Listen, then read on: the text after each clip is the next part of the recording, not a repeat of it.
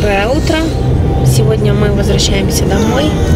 У нас была очень веселая ночь в кавычках. Габи немножечко приболела, у нее была температура, рвота. В общем, мы даже утром уже думали, что не будем возвращаться по запланированному плану. Но, слава богу, ей стало чуть легче. Мы решили все-таки рискнуть и выехать. Потихонечку будем ехать с остановками необходимыми и так далее. Э, Время сейчас 11.20. И мы держим наш путь домой. Ну что ж, мы сделали нашу первую остановку. Мы проехали 400 километров.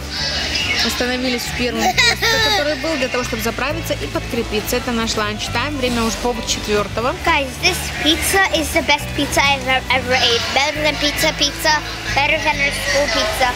The pizza in Costco is the best. Ну, в общем, короче, вот мы купили пиццу. Она стоила 10 долларов. Ларж пицца. Очень вкусная. Просто взяли только с сыром. Габи уже чуть получше, но, конечно, очень капризничает. И Доша старается ее не доставать, но это очень тяжело. В общем, короче, сейчас мы немножко походим, погуляем, отдохнем. И нам еще по э, американской территории ехать 400 километров до границы и после границы 300. Так что мы поехали дальше. Надеемся, что Габи будет себя чувствовать хорошо и Дошка тоже. Да? Bye-bye. Can't wait for ho- can't wait for home. I miss my Xbox. Вот до границы 254 километра. Мы надеемся их проехать так же, как хорошо, как и до этого мы ехали. Тяжело, конечно, с уставшими и больными детьми ехать. Ну, Габи болеет, но и Дошка тоже очень устал. Вот. Дорога, она всегда быстрее. Вот мы заметили назад, мы всегда возвращаемся быстрее, чем когда мы едем туда. Когда мы едем туда, то мы путешествуем, останавливаемся, смотрим окраины. А назад уже мчимся без оглядки. Хочется всегда быстрее домой. Так что мы поедем. Ой. Надеемся, до часу ночи доберемся. Может и позже, как будет на границе. Сегодня пятница. Может быть, будет больше трафика на границе. Сейчас бы до границы добраться, а там уже рукой подать, можно сказать.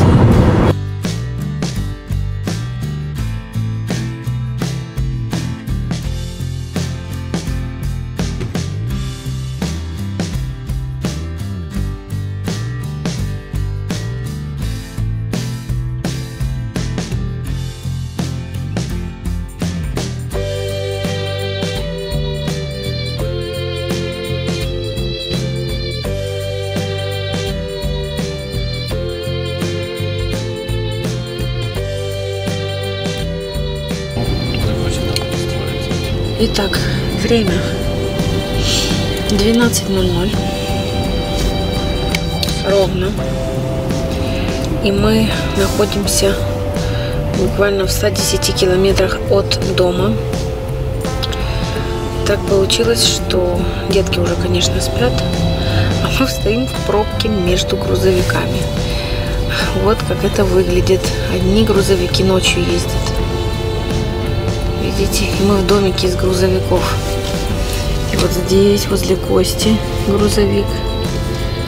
И вот здесь FedEx у меня. Видите? И вот там у меня грузовик. А, не видно, там не видно. В общем, сзади меня грузовик. Видно, в заднем стекле будет. Наши фейсы видно. Нет, только не видно. В общем, короче, поверьте мне, одни грузовики вот там вот впереди можно видеть, что все грузовики стоят. Видите? И немножко страшновато. С другой стороны, таким себя защищенным чувствуешь, как будто ты в домике. В общем, мы стоим без понятия, что происходит. Скорее всего, ночью происходит обычно в это летнее время. А, ремонтные работы на дорогах. И, скорее всего, где-то что-то перекрыто. Потому что мы просто стоим, двигаемся по сантиметру в минуту. Поэтому уже так я мечтала, что я доберусь сегодня до кровати. Уже вот-вот, уже вот-вот. Вот. Как чтобы вы меня видели. Все равно не видно.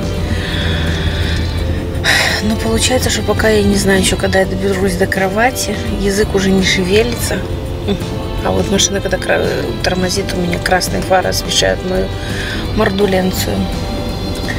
общем, короче, ребята утомились, но слава богу, Габи нам дала доехать. Мы очень переживали за ее состояние. Она просто свалилась у нас вчера с температурой, всю ночь она не спала, и, в общем, рвала, и я не знала, как мы сегодня поедем. Слава богу, у нее только один раз поднялась после обеда температура, я ей дала и таблеточку, это лекарство, она не вырвала его, слава богу. Мы проехали. Так что сейчас детки уже спят в машине, их уже, конечно, тоже не видно. А мы вот с Костей пытаемся добраться до дома. Еще грузовик перед нами решил перестроиться.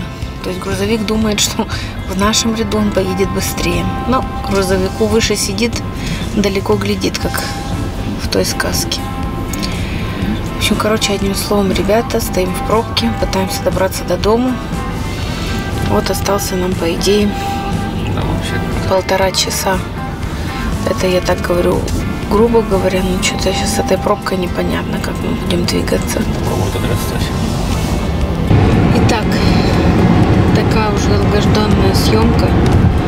Время у нас час ночи, 33 минуты, пол второго. Мы с Костей вообще уже со спичками в глазах едем уставшие.